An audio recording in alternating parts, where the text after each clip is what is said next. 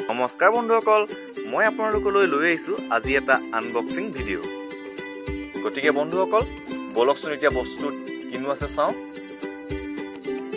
বস্তুটো বৰ এটা বেছি দামৰ নহয় ফ'ৰ ছেভেণ্টি ফাইভ ৰুপিজৰ হয়। কিন্তু বস্তুটোত আছেনো কি? মোৰ এই পাৰ্চেলটো আহিছিল ইকম এক্সপ্ৰেছ কুৰিয়াৰ ছাৰ্ভিচত য'ত মই নিজেই কাম কৰোঁ। সেয়ে মোৰ নিজৰ অলপ বেছি ভাল লাগিছে। এয়া ওলালে? ওলালে। এয়া আপোনালোকে হয়তো ওপৰৰ ছবিটো দেখি জানিব পাৰিছে যে বস্তুটো কি হ'ব পাৰে। হয় এইটো আৰ্ট ৰিলেটেডে এটা বস্তু হয়।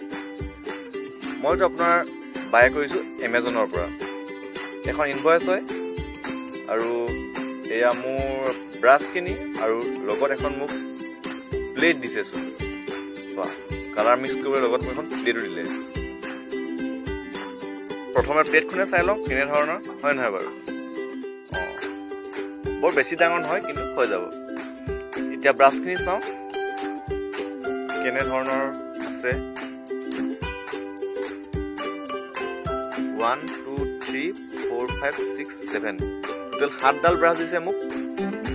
এতিয়া কিমান কিমান নম্বৰ চাই লওঁ বোলক। এইডাল হৈছে এক নম্বৰ ফ্লেট ব্ৰাছ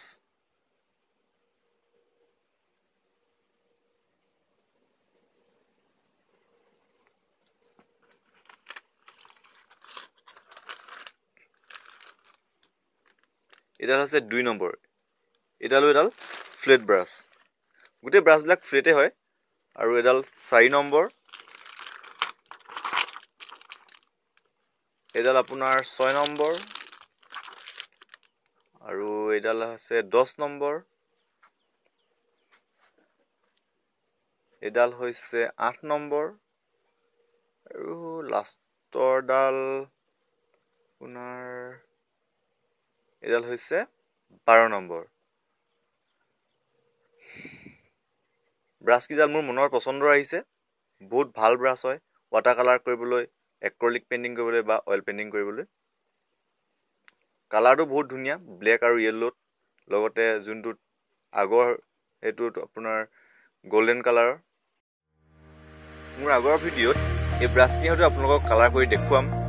আৰু আপোনালোকে ভিডিঅ'টো চোৱাৰ বাবে আপোনালোকক বহুত বহুত ধন্যবাদ জ্ঞাপন কৰিছোঁ। আৰু লগতে এমেজনকো মই বহুত ধন্যবাদ জ্ঞাপন কৰিছোঁ। গতিকে বন্ধুসকল আজিলৈ সামৰণি মাৰিছোঁ।